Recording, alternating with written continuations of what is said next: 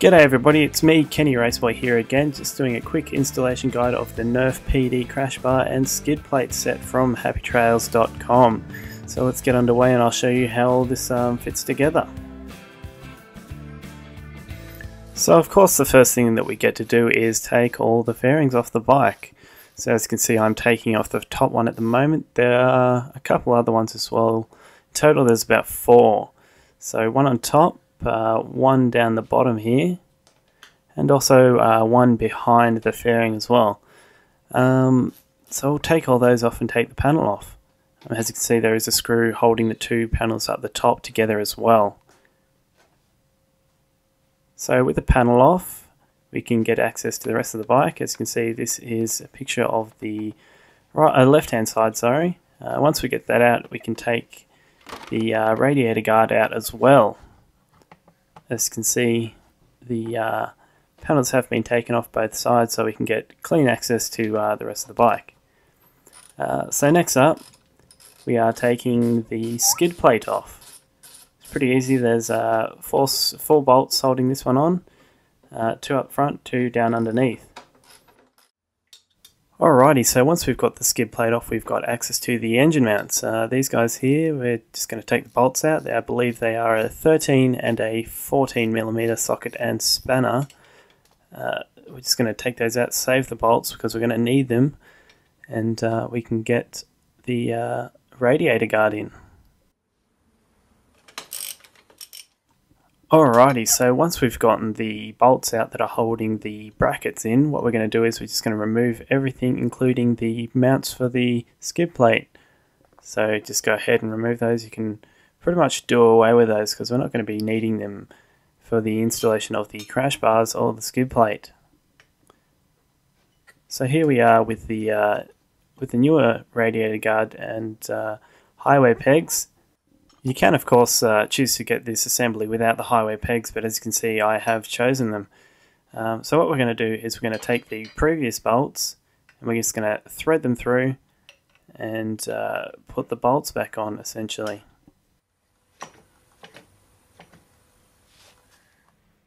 So next step after we've got the uh, bolts all through the holes, we're going to just put some thread locker on the uh, on the bolts themselves just to make sure the uh, the nuts don't rattle loose and uh, you don't end up with a uh, loose motor. So just tighten them up and you should be good to go and we can get on with the next step of the uh, installation. And uh, also, of course, we're just going to tighten them up using our 13mm and 14mm spanner and socket that we were using earlier. And of course, uh, the next step of the operation would be to put the Nerf bars on after we've gotten the uh, radiator guard all secured. Um, these bars are the Nerf bars, of course. They go on either side of the bike, covering up the fairings. And what we're going to do is we're going to take the 8mm bolt uh, that is supplied, of course putting one washer on either side, just going to thread it through like so, and we're going to also put a nylock uh, nut on the other side as well, just to make sure it doesn't rattle loose. Uh, so just tighten that one up as uh, best you can. Leave it a little bit loose so you can uh, move it around whilst you're working on the bike.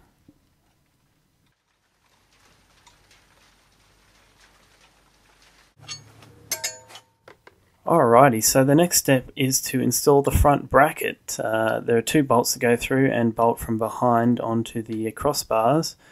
Um, you've got two little brackets that uh, sit either side as well that clamp around the tube. Uh, this is probably one of the hardest parts to get right. It is a little bit fiddly.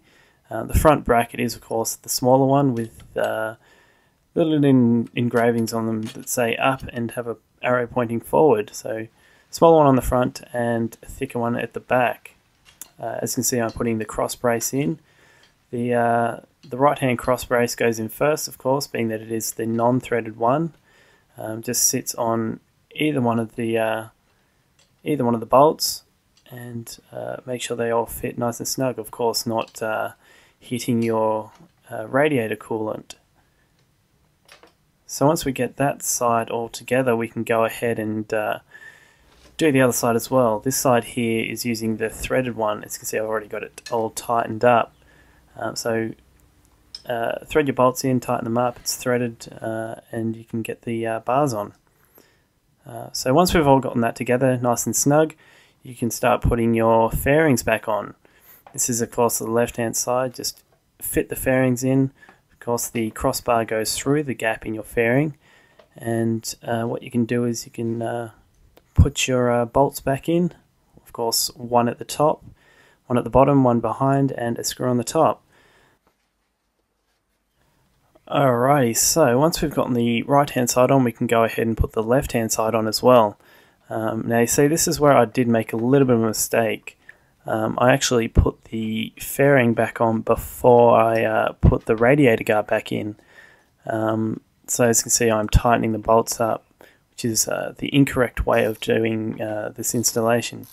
But um, as you can see in this shot here I am actually squeezing the radiator guard in and uh, around the bar and behind the fairing so if you do happen to do it this way it's no big deal you can uh, get around it without too much of a hassle So once we've got the fairings back on, you can see the cross members uh, come through the fairing. Um, you can pretty much line up the Nerf bars now, which cover the fairings on either side. And uh, what you can do after that is you can start putting your bolts in. So, as you can see, they line up fairly well with this one here.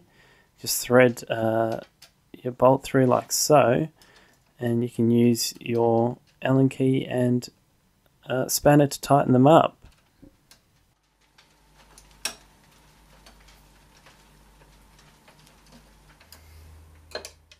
Course, once you've got one side done, do the other one as well. Just tighten them up as uh, snug, uh, not too tight, uh, being that we're going to fit the front ones as well. So with this one here, um, same deal with the other one as well. Just tightening them up with the spanner and the Allen key. Make sure they're tight. Um, as you can see with this one here, the uh, the bars didn't actually line up as well as I'd hoped them would, but um, with a bit of uh, with a bit of tightening, uh, they do go together. So a little bit of an interference fit with that one there, but uh, no big deal. Alrighty, so once we've gotten everything nice and snug and tight, we can go ahead and fit the skid plate. This one here is of course black one. You can get a silver one as well. Um, and also there are a couple brackets that go on the bottom, one and one eighths uh, brackets. So easiest way I found to do it was uh, fit one bracket and then slide it over the bar on the bottom. And then after you've gotten that one on it's the uh, it's pretty easy from there. All you have to do is you can uh, slide the bracket over and thread the bolt from underneath into the thread. Just tightening it up with a Torx bit with this one here I believe it is a T40 Torx bit. So you will need uh, a special tool to do that one if you don't have one. So tighten them up nice and snug uh, to each side of course uh, once we get that done, there's a U-bolt that holds the skid plate on. U-bolt goes around the same bar that we attach the radiator guard. Uh, we've also got a little aluminium block that goes on as well, which sits behind the skid plate. Uh, so just put that one on and we can slide it through the two holes that are in the front of the skid plate.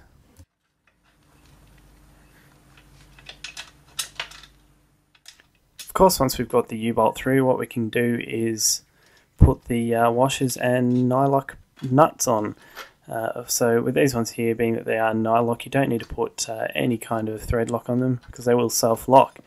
Um, so in the next shot, we have uh, started to tighten them up. Of course, tightening them up equally, uh, not too much yet because we do have to align the plate up, uh, make sure everything is nice and straight.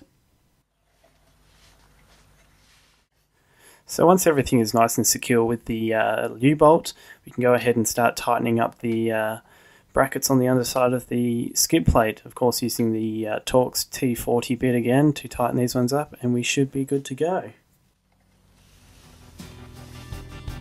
Alrighty guys, everything's nice and secure, all the bolts tightened up and your bike is much much more protected so uh, you can get out on the road and do some nice touring without having to worry about your bike being uh, scratched up and whatnot.